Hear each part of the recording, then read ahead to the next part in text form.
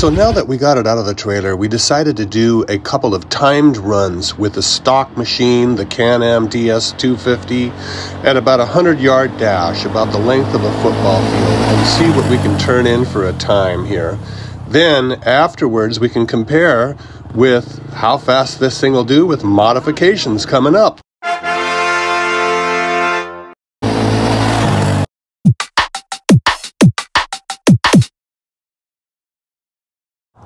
So we want to make this quad go faster. And the first order of business is to remove this tall geared front sprocket off of this and replace it with more of a performance orientated 14 tooth front sprocket.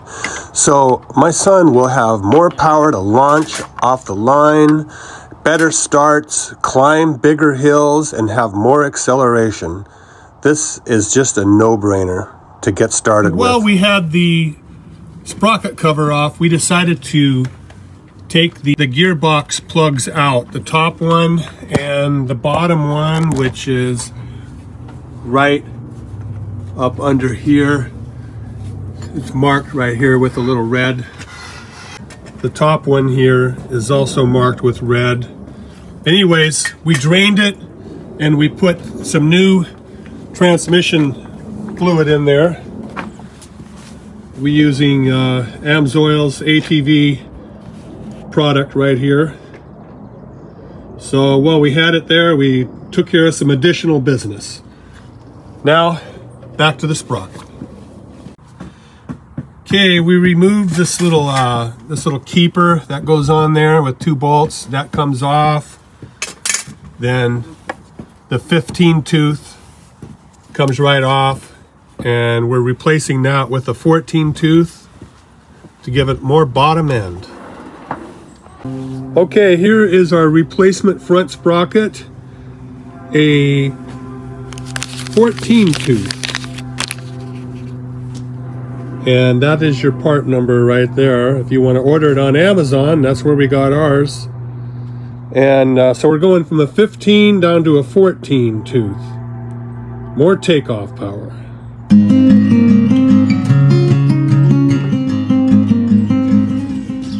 Okay, that's the new 14 tooth to replace the 15 tooth.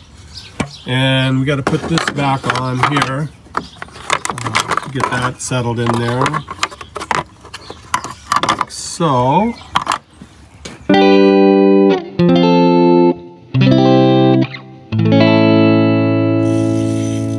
Okay, now we're gonna do the jet kit in the carburetors. We had to loosen this up and drain all the fuel out of the carburetor after we turned the gas to the off position here. Then we drained it out. Then I loosened up this right here and I took uh, took the bolts loose there so I could turn the carburetor right here so we can get to the bowl to remove the bowl to access the jets. Okay, I've got the bottom off. Here's the, the float. And here's your two jets here. And that's the one we already took out as a 105 and rethreaded a 110 back in. And then this one here is the next one coming out, the smaller one of the two. And that should be a stock 35 that we're going to a 38.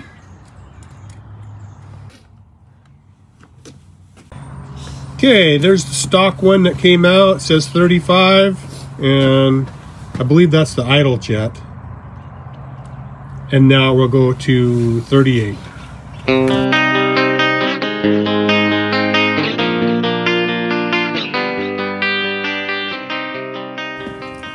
Now the other thing that I was recommended that uh, these baffles come out with three screws. I already moved the three screws.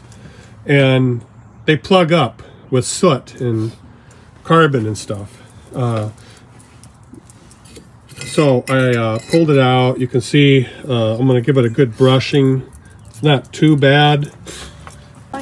All right, we got it kind of cleaned up now. We use some like brake cleaner and, and a wire brush.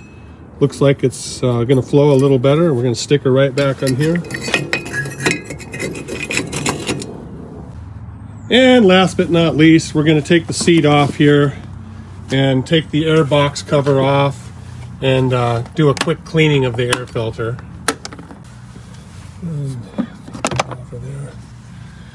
Eh, not too bad, but we'll give it a, a, a nice cleaning and wipe all this dust out in here and stuff that's been accumulating. Okay, folks, we're ready to make two timed runs now and see once and for all how much time we can cut off of this 100 yard dash with our new modifications. Ready?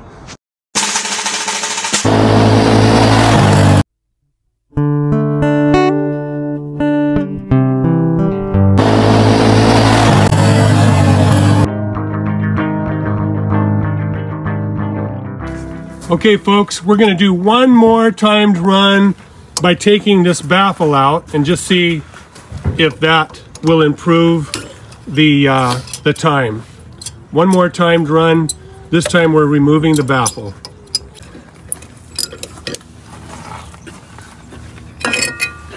There it is. Okay, go ahead and fire it up.